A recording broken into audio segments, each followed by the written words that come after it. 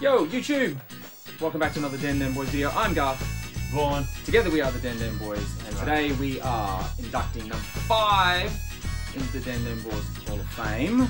But before we do that, we'll just give a little plug for the channel. We're trying to get to a thousand subscribers, so if you like what we're doing, like, subscribe, share, subscribe. We really appreciate you.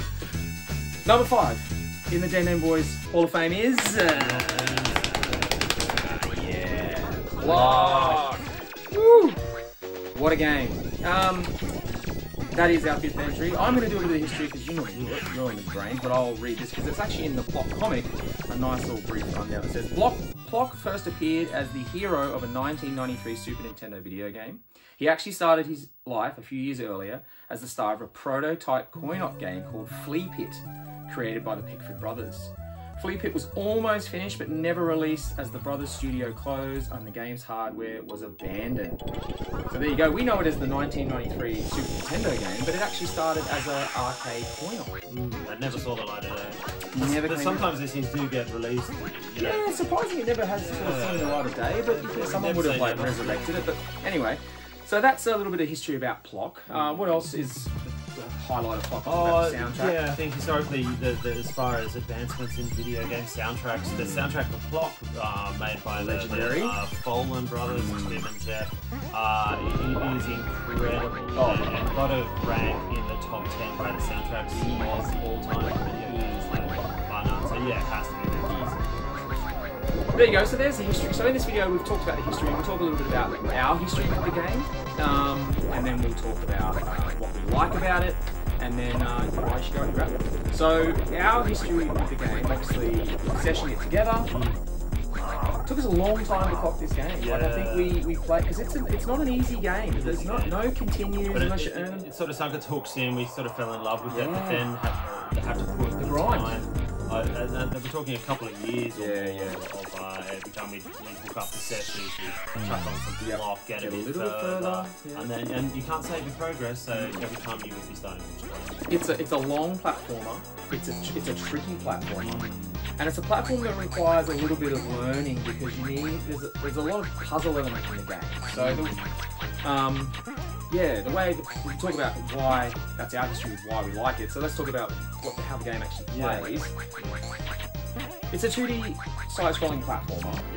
But it throws in the puzzle elements of using your limbs as a as a weapon, mm-hmm. and then also using the puzzle element of like sometimes you'd be asked to throw your body part into one of the you see these bullseyes around the stages, and then you lose that body part. So not only is it about finding the bullseye to like open up a section of the stage, but then finding your way, navigating your way around the stage with no body With, parts. with, with less limbs and, and ultimately no limbs. yeah, Uh, you're in a what is called a Plok nugget. You're just bouncing nuggets. around as there's just this body. yeah, No, yeah. no, it's insane. no offense. I know, and it's not for gags or giggles. like it's it's like an Yeah. amputee Yeah. gunning it. So to that end, it should be you know some praise. yeah, yeah, it's it's a funny to watch him bounce around, and there's bees chasing him, and Yeah. there's, there's fleas around, and any, anything that's trying to kill him, and he's just bouncing around as this body. Yeah. Um, so yeah, it, it's not a tricky, it's not an easy game. Um, It's colourful as all hell. oh yeah, beautiful looking game, big stages. Yeah, huge like, verticality, you name it, Big like stages. big stages, and, bi- and and the songs have a very long loop. Yeah. before they almost like three, four minute Yeah. music tracks like that. Never happened in games. really. And then you get towards the end of the game where they change the gameplay up. Oh, so that, before we say that, there, there are sort of power ups in the game too, where you know presents where you wear a costume, you know, a, you, uh, the hunter with a shotgun or a boxer throwing boxing gloves. But they they're very limited. They, They don't pop up that 30 often. seconds. And, yeah, the cool There's, ones.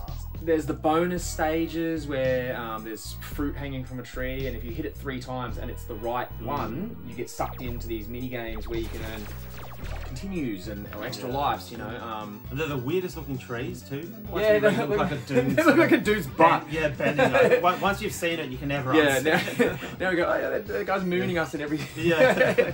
Maybe we're just sickos, I'm not sure. yeah, just these plums hanging from the tree.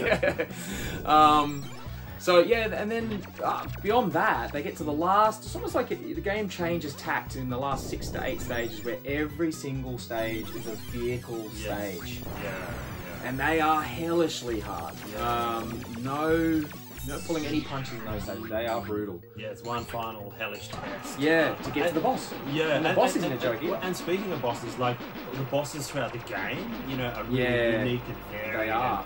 Weird ones. You, you're sending shooting these spikes out to sort of pop Yeah, these that- floating dudes. Yeah, and- the- the- and they look like little old men, like with the cane. They're flying yeah, yeah. So you got to put them in a bubble, and then you've got to like hit the yeah. button at the right time to hit them with the spike, and then they fall down, and then you Mm. punch them, and And with that that te- techno bass Yeah. boss music pumping, it's like there's nothing like. and also the puzzling comes in too, not just with the layout of the stages, but the, some of the stages they ask you to find a certain amount of fleas before you can progress to the end of the stage. Yeah.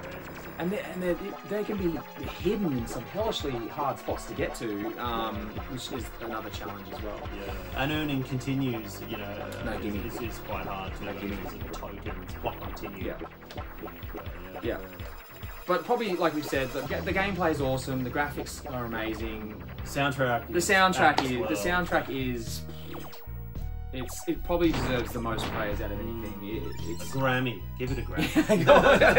yeah, it's it's an incredible soundtrack. For Yeah. the way they've got that level of soundtrack on Yeah. that ship, I have no idea. It's insane. They- There's yeah. prog rock, rush style guitar riffing. There's reggae. There's, there's bombastic techno. There's something for everyone. Yeah, that kind of that sort of banjo-y kind of Mm. you know the, The, har- the harmonica. harmonica sounds like a real harmonica. Oh, it's, I- it's like so good. that's insane. Um, yeah, obviously Tim Follin and the Follin brothers, they, they knew what they were doing. Um, They're legendary game composers. So The soundtrack had no right to be this. No, good. no, no. like Yeah, yeah. The icing. yeah, it is, it is amazing.